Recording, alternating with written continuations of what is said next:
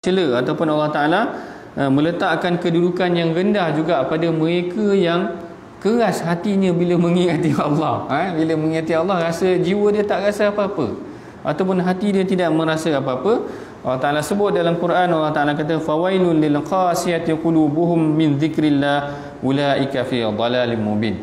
Maka celakalah ataupun maka maknanya celakalah fawailul lil qasiyati qulubuhum li dzikrillah mereka yang hatinya ataupun jiwanya keras untuk min dzikrillah untuk mengingati Allah Taala itu sendiri tadi punca hati keras ni kalau ikutkan sebenarnya sangat banyak selain daripada hasutan syaitan tu tadi tapi antara yang popular yang barangkali tuan-tuan pernah dengar sendiri adalah atas perlakuan kita sendiri.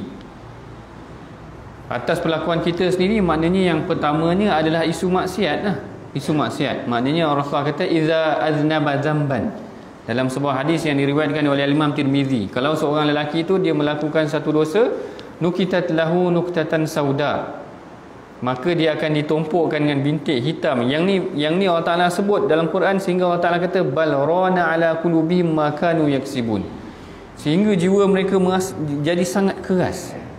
Sehingga jiwa mereka menjadi sangat keras dan disebabkan kerana apa yang mereka lakukan dan jiwa yang keras ni kalau tuan-tuan baca balik ayat Quran kadang-kadang Allah Taala gambarkan jiwa manusia yang keras dalam Quran ni lebih keras daripada daripada batu dalam surah Baqarah Allah Ta'ala cerita tentang perkara ni.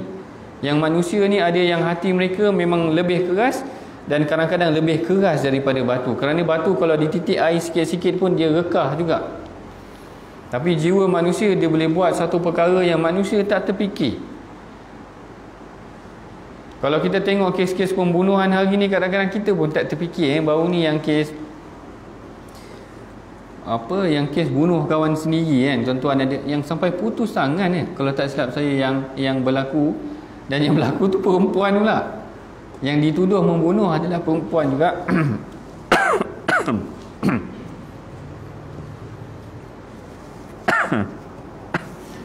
Yang dituduh membunuh tu adalah perempuan dan insiden yang berlaku tu agak menghairankan lah tapi saya nak ceritanya kadang-kadang manusia ni bila mana Allah Ta'ala dah tutup ataupun jiwa mereka menjadi keras kita tak boleh kita tak boleh nak jangka apa yang mereka akan lakukan. Eh maknanya orang boleh sampai kerat orang potong orang. Ai macam-macam. Eh manusia ni Allah Taala punya kuasa yang tu yang minta-minta kita jauh daripada perkara pertama yang paling penting tadi adalah menjauhkan diri kita kepada daripada perkara yang Allah Taala larang yang kedua juga kita juga kena faham bahawa bagaimana sebenarnya syaitan pun main peranan. Mungkin dalam dalam keadaan yang sekarang ni dalam keadaan Covid, kita pun tak keluar rumah sangat, kita tak pergi ke mana sangat. Tapi jangan lupa juga maknanya dalam rumah tu syaitan memainkan peranan untuk kita melakukan perkara yang tidak elok juga. Yang ni yang disebutkan dalam hadis dia kata inna syaitana wadi'un khatmihi ala qalbi ibni Adam. Syaitan ni meletakkan kalau dalam lafaz hadis ni khatam ni adalah belalai ya. ataupun anggotanya ke atas ataupun ke atas hati anak Adam fa idza dzukirallah khanasa ha, yang ni yang penting wa idza nasiyallah ilta iltaqama qalbahu fawaswasa yang disebutkan dalam ha-, hadis ni adalah syaitan akan sentiasa meletakkan belalai dia ataupun anggota dia ataupun hasutan dia ke dalam jiwa anak Adam tetapi sekiranya dia mengingati Allah fa idza dzukirallah ataupun fa idza dzakarallah khanasa dia akan berpaling Ha, ini yang penting juga bagi diri kita.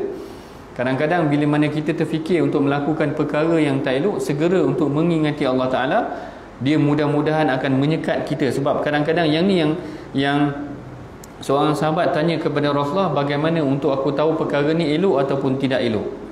Jadi apa yang diajarkan oleh Rasulullah kepada kepada sahabat ni adalah dia kata, Da' yadaka ala qalb. Dia kata, letak tangan kau kepada hati kau ataupun tepuk dada kita lah. Dia kata sebab fa innal qalba yaqta dia kata kerana sesungguhnya hati ni akan merasa tidak sedap kepada perkara yang tak elok. Maknanya fitrah hati yang bersih sepatutnya ataupun fitrah hati yang elok bila mana nak melakukan perkara yang tak elok ni dia akan rasa tak sedap hati. Satu rasa tak sedap hati. Yang keduanya dia jarang untuk buat depan-depan.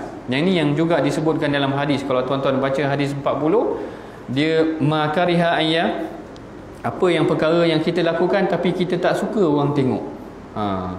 Mana ada orang bagi rasuah terang-terang betul lah tuan maknanya orang bagi pun mungkin suruh-suruh ataupun terus direct, uh, direct bank bank in ke ataupun macam mana ke maknanya perlakuan tu tidak dilakukan secara terang-terang. Maknanya kalau perkara ni datang kepada jiwa ataupun diri kita dalam keadaan kita nak melakukan perkara yang tak elok hati rasa tak sedap. Hati rasa tak sedap nak makan makanan yang meragukan sebaiknya tinggal-tinggalkan aja kerana Rasulullah ajar perkara ataupun benda yang tak elok ni kalau kita dah biasa dengan perkara yang baik kita akan merasa tak sedap hati untuk melakukan perkara yang yang tidak baik ni tadi. Kemudian yang seterusnya uh, tadi kita dah tengok bagaimana Allah Ta'ala mengatakan bahawa jiwa manusia ni boleh dihalang ataupun Allah Ta'ala memegang hati manusia.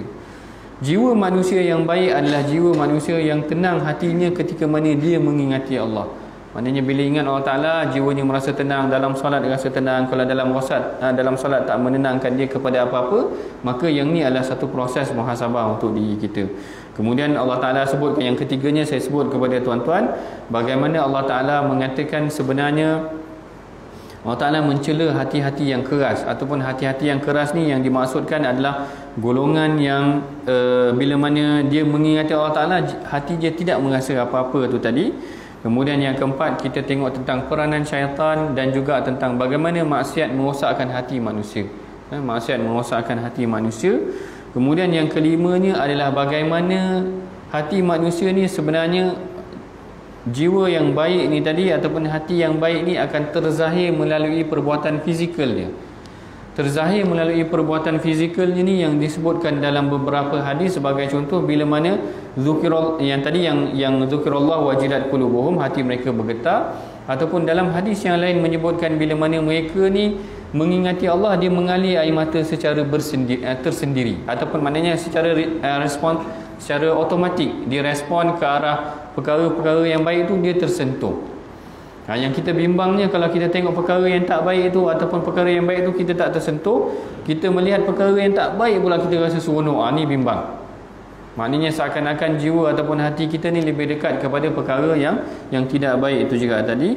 Allah Taala sebutkan dalam sebuah hadis yang panjang sab'atun yuzilluhumullahu fi zillihi yawma la zillu.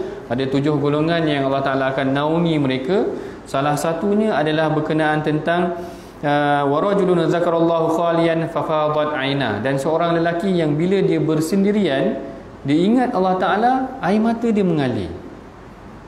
Ha, yang ni cuba try. Maknanya tuan-tuan cuba dalam kereta pun boleh. Kita seorang-seorang kan. Maknanya dekat rumah pun boleh dalam solat pun boleh. Dalam macam-macam keadaan try ataupun cuba dalam baca Quran mengingati, mengingati Allah tu paksa jiwa kita ataupun hati kita untuk menangis Mudah-mudahan kita tergolong dalam golongan yang orang yang bersih ataupun baik hatinya bila mana dia mengingati Allah, dia merasa merasa tenang dan dia mudah tersentuh dan mengalir kepada Allah Taala. Bahkan dalam hadis yang sama Allah Taala cerita macam mana sekiranya seorang lelaki itu tadi bila dia didatangi oleh seorang perempuan mengajakkan kepada dia untuk melakukan perkara yang tak elok dia kata inni akhafullah ataupun uh, inni akhafullah kerana dia kata aku tak nak melakukan perkara yang jahat ni kerana aku takut kepada Allah Taala. Yang menariknya dalam dua elemen ataupun dua perkara ni adalah kedua-duanya dilakukan secara bersendirian. Sebab kebiasaannya manusia bila bersendirian dia didatangi oleh perempuan ataupun didatangi oleh elemen maksiat dia mudah untuk melakukan maksiat. Maknanya dia duduk seorang-seorang dengan telefon dia dengan telefon pun boleh melakukan maksiat. Tapi dia kerana dia teringat kepada Allah Ta'ala Lalu dia cakap dalam hati dia Inni akhafullah. Aku takut kepada Allah Ta'ala Lalu dia tinggalkan perkara yang tak elok tu. Dia mudah-mudahan tergolong dalam golongan yang Allah Ta'ala kata Tujuh golongan yang dijanjikan oleh Allah Ta'ala Mendapat naungan oleh Allah Ta'ala di akhirat kelak. Kerana bila ada satu daya tarikan untuk mengajak dia melakukan kejahatan Dia boleh kata aku tak, aku tak nak kerana aku takut Allah Ta'ala sebab biasanya manusia bila bersendirian dia mudah untuk melakukan perkara yang tak elok. Betul lah. Mana bila kita seorang-seorang mana ada orang tahu. Itu yang pertama. Yang keduanya tadi bila dia bersendirian dia ingat Allah Taala dia menangis. Ha, kan? Yang keduanya bila dia ingat Allah Taala dia menangis tu tadi. Kemudian juga dalam hadis yang lain Allah Taala ataupun Rasulullah cerita juga uh, seorang lelaki yang bila mana dia melihat satu perkara yang bala ataupun satu perkara kesusahan menimpa kawan dia hati dia tersentuh. Ha, ini juga adalah satu petanda yang baik juga. Maknanya kena juga dengan fitrah. Kerana fitrah manusia dia dia akan mudah merasa kasihan ataupun tersentuh dengan perkara kesusahan yang menimpa saudara dia. Ya? Yang ini yang disebutkan dia kata man ra'a mubtalin fadama'an ainahu fahuwa min adh-dhakirin Allah لأن المبتلين إذا رآه مؤمن تدمع عيناه لأنه يذكر نعمة الله عليه فهناك أنه ذكر الله بلسان dan begitu juga dengan orang bila mana seseorang tu melihat seorang yang diuji maka mengalir air matanya ataupun uh, dia merasa sedih kerana melihat kesusahan orang lain ini adalah juga salah satu tanda-tanda orang yang beriman juga kerana dia rasa kasihkan kepada para uh, kepada sahabat ataupun kawan dia ataupun kerana dia merasakan sebenarnya itu adalah nikmat yang Allah Taala bagi kepada kawan tu kawan tu Allah Taala tarik nikmat dia teringat nikmat yang ada pada dirinya maka dia menangis yang ini juga adalah satu petanda yang baik. Maknanya orang yang beriman tu tadi dia memulakan ataupun dia dia punya kesihatan ataupun jiwa yang saleh ataupun yang baik itu tadi boleh terzahir dengan dengan fizikal secara fizikal itu tadi. Bahkan yang lagi lebih menarik lagi adalah tentang ta'rifan rabbani. Kalau tuan-tuan pernah dengar. Saya cuma saya terjumpa ada satu hadis cuma saya tak ingat hadis tu berkenaan tentang orang yang rabbani ni tadi ataupun orang yang saleh ni tadi. Bila mana orang terlihat dia orang ingat Allah Taala. Ha yang ni yang agak tinggi juga. Ataupun kerana banyak dia, dia kerana dia melakukan kebaikan ataupun amal soleh dia tu tadi. Sehingga kawan dia kalau tengok dia terus oh ya aku tak solat lagi katakan macam tu dia kalau kat asrama dulu ada ada jenis seorang kawan ni memang dia jenis rajin berzikir ataupun rajin solat bila mana kita tengok dia kita kita terus macam muhasabah ataupun reflect diri kita eh aku dah solat dulu macam tu kan Bukan kalau kita tengok kawan kita, eh, uh, hari ni game apa katakan macam tu. Teringat bola ke, teringat politik. Tengok muka ni memang muka politik. Dia boleh cerita tentang politik. Yang ni kita tak nak begitu. Maknanya kita nak kawan yang bila kita tengok dia ataupun dia tengok kita, kita teringat Allah Ta'ala. Ataupun kita teringat perkara-perkara yang baik lah. Bukan kita tengok muka dia kita teringat nombor ekor kata macam tu lah kita teruk lah macam tu maknanya tuan-tuan tak nak lah begitu maknanya tak nak begitu golongan-golongan yang Allah Ta'ala datangkan mereka ni dengan dengan dia mengingatkan kita kepada Allah Ta'ala dengan dia mengingatkan kita kepada Allah Ta'ala jadi jadi ada sedikit masa lagi yang kita nak ceritakan tentang yang ni adalah semua tentang ciri-ciri hati yang baik. Bagaimana sifat-sifat hati yang baik itu melihat kebaikan dia akan suka menjauhi kemungkaran. Bila dia ingat Allah Ta'ala dia menangis. Hati, kalau dia rasa hati dia keras maknanya perkara ni telah ditegur oleh Allah Ta'ala dalam Quran. Syaitan punca-puncanya adalah punca-puncanya adalah seperti yang disebutkan tadi. Maknanya syaitan main peranan. Kemudian amalan maksiat dia. Kemudian amalan-amalan yang melarakan dia perkara-perkara yang melalaikan dia Kemudian apa pula tindakan kita? Kemudian apa pula tindakan kita? Baik yang ni yang saya biasa bagi kalau tuan-tuan ingat awal dulu saya biasa bagi kerja rumah kat tuan-tuan eh. Saya biasa bagi kerja rumah sebab saya tak nak juga maknanya kuliah maghrib ni kita dengar aja lepas tu balik rumah tak ada buat apa. Kalau dengan pelajar saya dekat USIM, ha, saya boleh suruh pelajar saya buat assignment. Kan mana assignment ke boleh buat kerja rumah tapi dengan Uh, dengan dengan warga masjid surau ni tak bolehlah saya buat begitu tapi sekurang-kurangnya balik ada perkara yang kita boleh amalkan.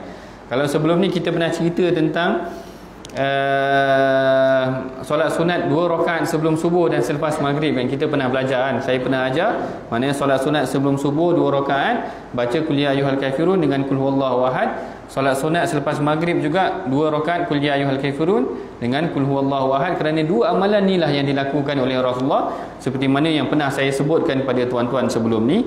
Hari ni macam tu juga sebelum ni saya pernah juga ajar pada tuan-tuan melalui kitab Bidayatul Hidayah tu juga. Bagaimana Rasulullah ketika mana ataupun dalam sebuah hadis mengajar kepada kita awal dia bangun kita daripada tidur Sebutkanlah zikir yang la ilaha illallah wahdahu la syarikalah lahul mulku wa lahul hamdu wa huwa ala kulli syai'in qadir. Yang ni yang diajarkan oleh Rasulullah dalam sebuah hadis kalau tak silap saya riwayat Nasa'i kalau tak silap saya lah. Mana menceritakan tentang hadis tu tuan-tuan baca berajin dah lepas solat. Tuan-tuan baca la ilaha illallah wahdahu la syarikalah lahul mulku wa lahul hamdu yuhyi wa yumiitu wa huwa ala kulli syai'in qadir. Lepas solat tuan-tuan rajin baca. Dalam hadis sebut tentang zikir ni adalah bangun adalah tentang ketika mana bangun tidur.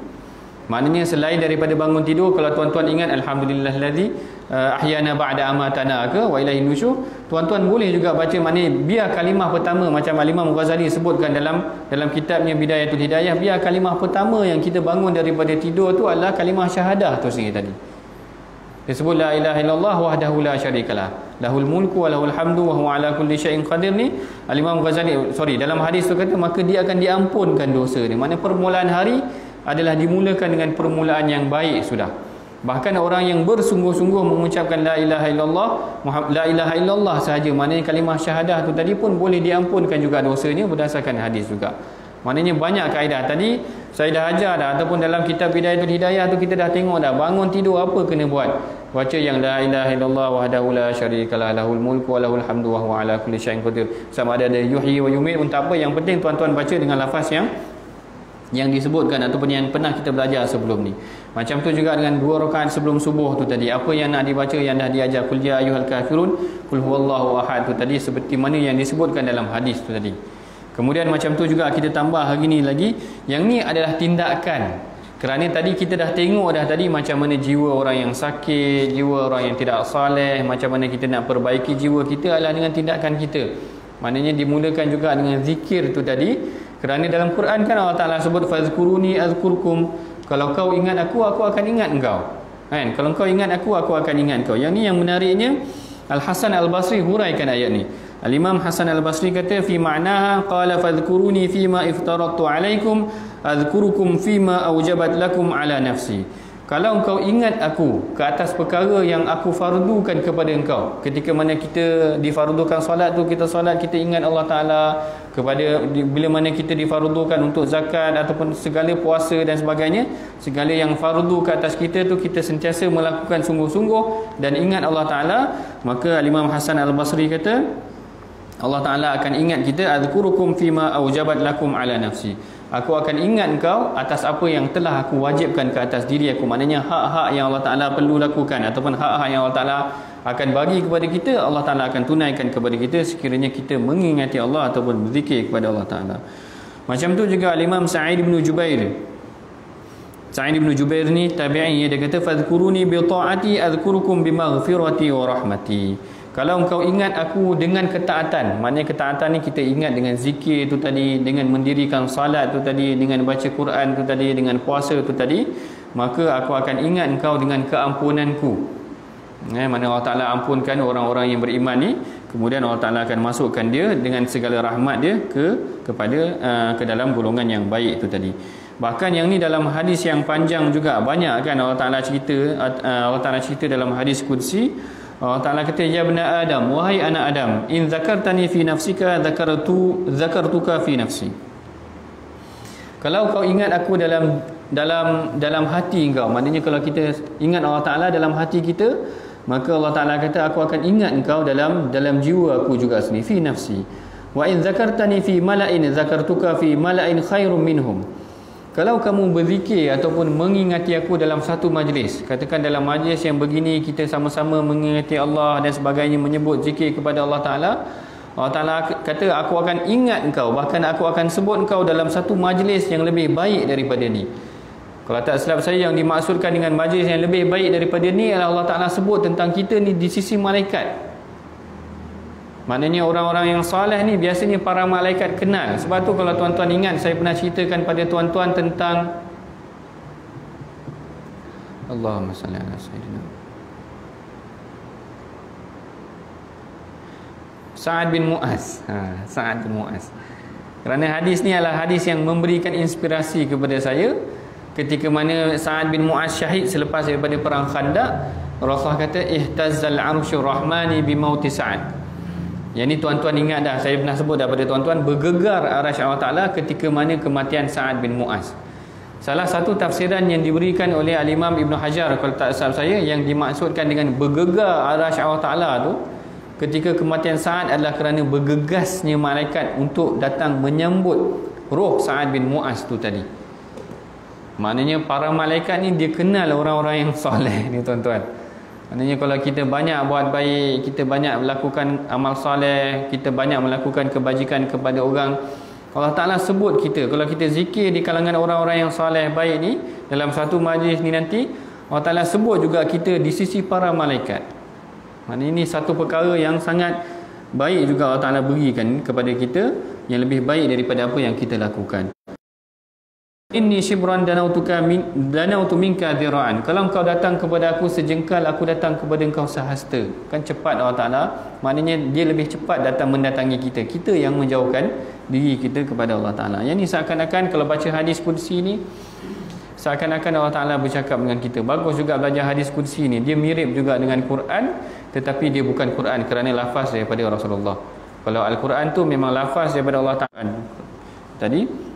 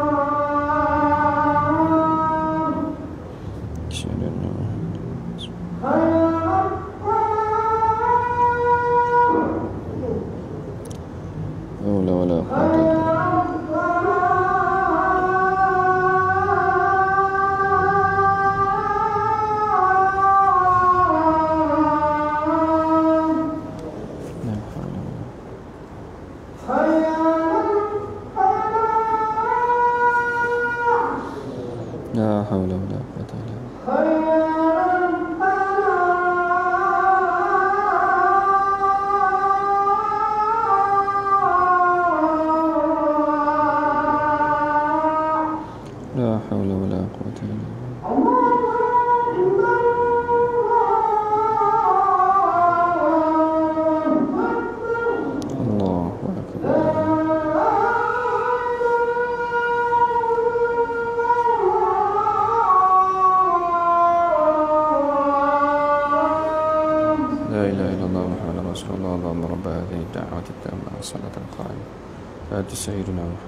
محمد وصلة وفضلا والشرف والدرجة العالية الرفيعة وبعثه مقام محمود الذي وعد إنك لا تخلف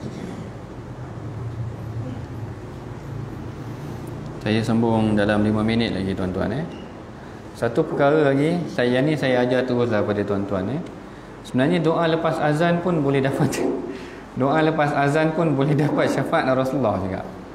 Kalau dalam sebuah hadis yang sahih, yang macam yang kita baca Allahumma rabb hadhihi da'wati tammah tu Rasulullah kata siapa yang dengar azan man sami'an nida siapa yang dengar azan thumma qala kemudian dia baca Allahumma rabb hadhihi da'wati halat lahu syafaati yaumil qiyamah. Rasulullah kata dia akan mendapat syafaat aku hari kiamat. Senang Rasulullah lagi Maknanya nak buat amal soleh ni sebenarnya banyak peluang dia Rasulullah bagi kepada kita Allah Ta'ala bagi kepada kita. Nak dapat syafaat daripada Rasulullah tu sendiri tadi kan? Jadi kita masih sambung sikit lagi Uh, tadi dah ceritakan tentang uh, saya baca habiskan hadis kursi ni tadi. Kalau kita datang kepada Allah Taala sejengkal Allah Taala akan datang kepada kita sehasta. Wa indana ta minni dhira'an danautuka minka ba'an. Wa in ataitani tamshi ataituka ataitu ilaika uharwil uharwal atau uharwil Kalaulah kau datang kepada aku berjalan maka aku datang kepada engkau berlari. Allah Taala seakan-akan Allah Taala lebih cepat ataupun lebih lebih dekat dengan kita. Yang ni yang sebenarnya tindakan yang paling penting tadi. Tadi saya dah cerita kepada tuan-tuan maknanya balik ni nanti ada perkara yang kita boleh pegang dengan satu sekurang-kurangnya. Kalau lebih banyak lebih baik. Tapi perhatikan saya juga pernah cerita kepada tuan-tuan bagaimana para sahabat tu dia ada amalan mereka tersendiri yang mana mereka konsisten dengan dia. Ada yang konsisten jaga wudu ada yang konsisten solat duha macam Abu Hurairah konsisten jaga wudu dan solat sunat dua rakaat macam Bilal bin Rabah. Yang Abu Abu Hurairah tu ada tiga amalan yang dia kata uh, Usani Khalili tiga amalan yang kekasih aku ingatkan kepada aku yang aku tak pernah tinggalkan sampai mati dan sebagainya. Cerita tentang solat duha solat witir dan uh, uh, puasa Isnin Khamis tu tadi tiga perkara ni tak pernah dia tinggalkan sepanjang hidup dia kerana dia kata inilah yang Rasulullah pesan kepada dia. Jadi kalau kita tengok hadis beberapa sahabat ni memang ada amalan yang spesifik yang dia orang pegang. Yang ni yang kita harapkan yang saya sebut banyak dah. Yang kita bincangkan banyak juga dalam kitab Bidayatul Hidayah. Bermula awal. Kalau susah yang ni mana yang baca yang tadi tu. Bangun tidur baca la ilaha illallah wahdahu la syarikalah. Lahul mulku wa lahul hamdu wa ala kulli syai'in qadir. Ataupun tadi solat sunat dua rakaat. Ataupun tuan-tuan zikir 33 kali lepas Lepas solat tu pun diharamkan kepada mereka syurga, eh, diharamkan kepada mereka neraka buat yang yang amalkan zikir tu tadi 33 kali.